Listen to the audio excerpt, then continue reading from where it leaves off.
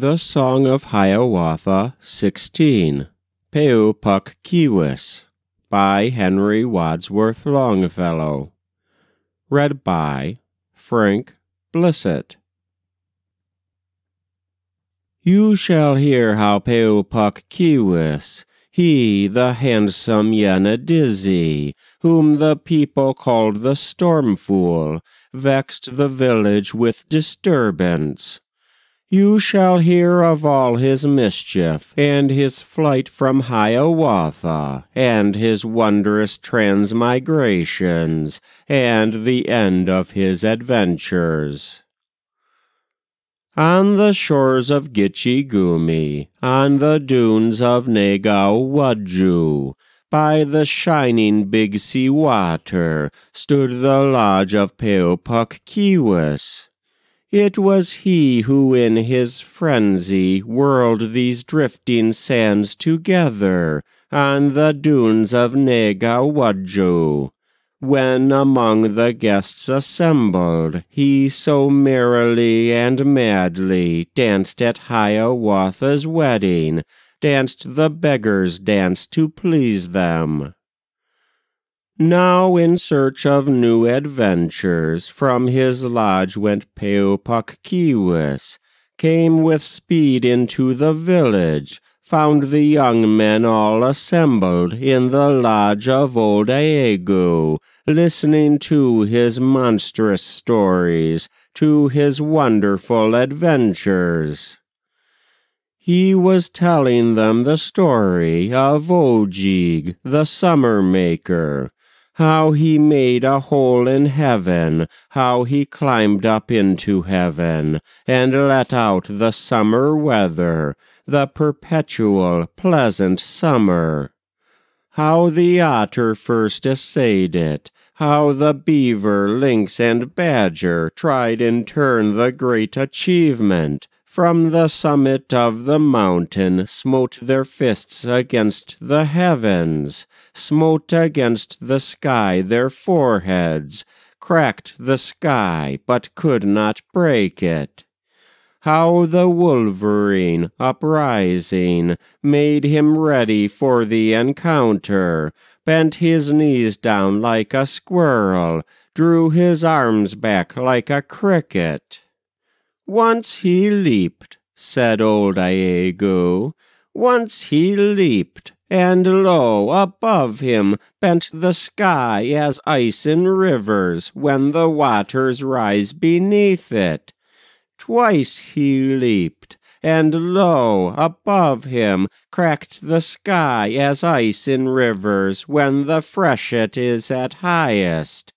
Thrice he leaped, and lo, above him broke the shattered sky asunder, and he disappeared within it. And Ojeeg, the fisher weasel, with a bound went in behind him. Hark you! shouted Pau-Puk-Keewis as he entered at the doorway.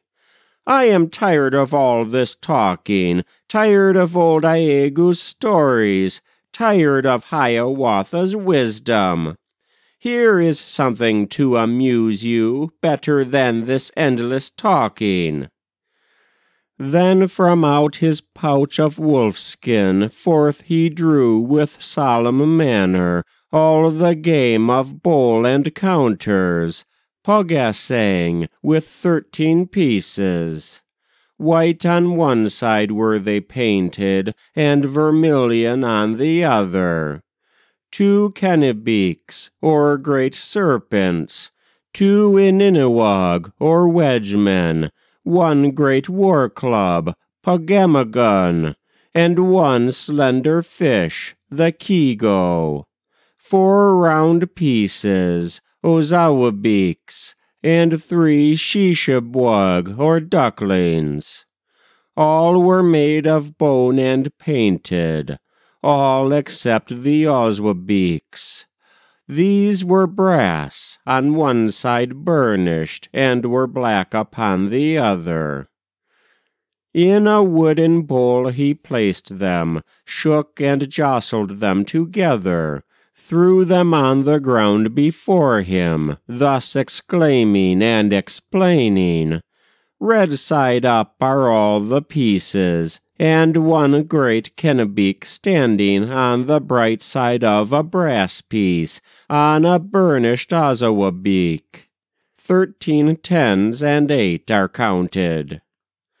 Then again he shook the pieces, shook and jostled them together, threw them on the ground before him, still exclaiming and explaining. White are both the great Kenabeeks, white the Ininewug, the wedgemen, red are all the other pieces, five tens and an eight are counted. Thus he taught the game of hazard, thus displayed it and explained it, running through its various chances, various changes, various meanings. Twenty curious eyes stared at him, full of eagerness stared at him.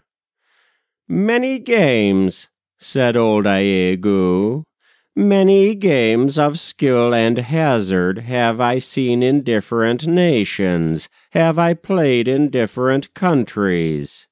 He who plays with old Iagoo must have very nimble fingers. Though you think yourself so skilful, I can beat you, Peopuk Keewis.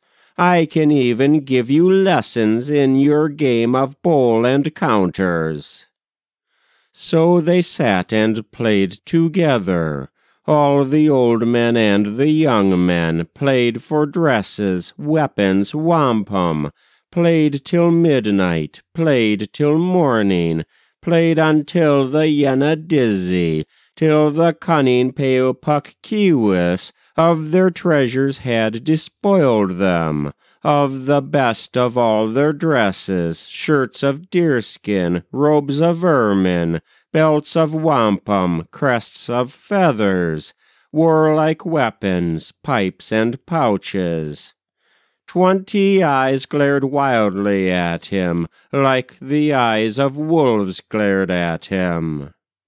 Said the lucky Pau-Puk-Keewis, In my wigwam I am lonely, in my wanderings and adventures I have need of a companion.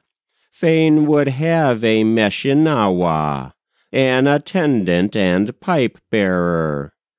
I will venture all these winnings, all these garments heaped about me, all this wampum, all these feathers, on a single throw will venture, all against the young man yonder.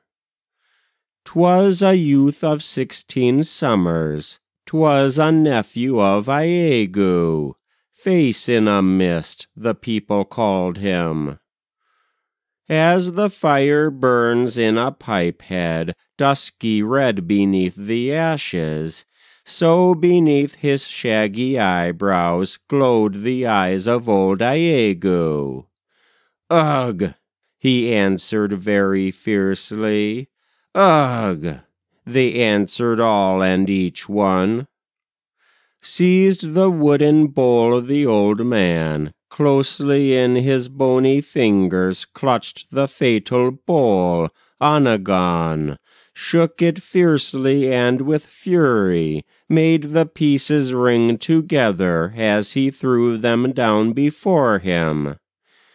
Red were both the great Kenabeeks, red the Ininewug, the Wedgemen, red the Sheshebwug, the Ducklings, black the four brass Ozawabeeks, white alone the fish, the Keego, only five the pieces counted. Then the smiling Pau-Puk-Keewis shook the bowl and threw the pieces, Lightly in the air he tossed them, and they fell about him scattered. Dark and bright the Ozawabeeks, red and white the other pieces, and upright among the others one Ininewug was standing. even as crafty Pau-Puk-Keewis stood alone among the players, saying, Five tens, mine the game is. Twenty eyes glared at him fiercely, like the eyes of wolves glared at him, as he turned and left the wigwam, followed by his Meshinauwa, by the nephew of Iagoo, by the tall and graceful stripling, bearing in his arms the winnings, shirts of deerskin, robes of ermine, belts of wampum, pipes and weapons. Carry them, said Pau-Puk-Keewis, pointing with his fan of feathers, to my wigwam far to eastward, on the dunes of Nagow Wudjoo. Hot and red with smoke and gambling were the eyes of Pau-Puk-Keewis as he came forth to the freshness of the pleasant summer morning. All the birds were singing gaily, all the streamlets flowing swiftly, and the heart of Pau-Puk-Keewis sang with pleasure as the birds sing, beat with triumph like the streamlets as he wandered through the village in the early gray of morning, with his fan of turkey feathers, with his plumes and tufts of swan's down, till he reached the farthest wigwam, reached the lodge of Hiawatha. Silent was it and deserted. No one met him at the doorway. No one came to bid him welcome but the birds were singing round it, in and out and round the doorway, hopping, singing, fluttering, feeding, and aloft upon the ridge-pole Kahgahgee, the king of ravens, sat with fiery eyes and, screaming, flapped his wings at Pau-Puk-Keewis. All are gone, the lodge is empty. Thus it was spake Pau-Puk-Keewis, in his heart resolving mischief. Gone is wary Hiawatha, gone the silly laughing water, gone Nokomis the old woman, and the lodge is left unguarded. By the neck he seized the raven, whirled it round him like a rattle, like a medicine pouch he shook it, strangled Kahgahgee, the raven, from the ridgepole of the wigwam, left its lifeless body hanging as an insult to its master, as a taunt to Hiawatha.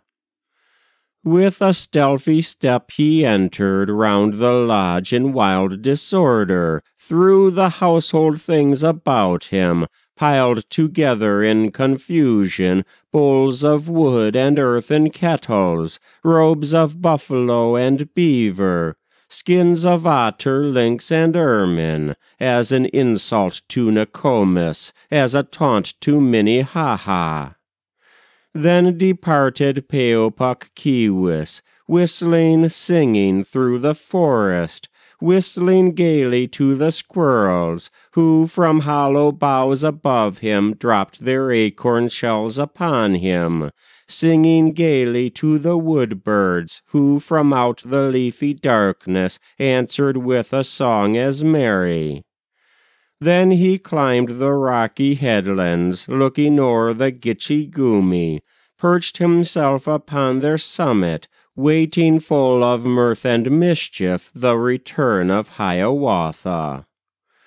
Stretched upon his back he lay there, far below him plashed the waters, plashed and washed the dreamy waters. Far above him swam the heavens, swam the dizzy, dreamy heavens. Round him hovered, fluttered, rustled Hiawatha's mountain chickens, flockwise swept and wheeled about him, almost brushed him with their pinions. And he killed them as he lay there, slaughtered them by tens and twenties, threw their bodies down the headland, threw them on the beach below him, till at length Kayoshk, the seagull, perched upon a crag above them, shouted, It is Pau-Puk-Keewis! He is slaying us by hundreds! Send a message to our brother, tidings send to Hiawatha. That was The Song of Hiawatha 16, Pau-Puk-Keewis, by Henry Wadsworth Longfellow. Read by Frank Blissett.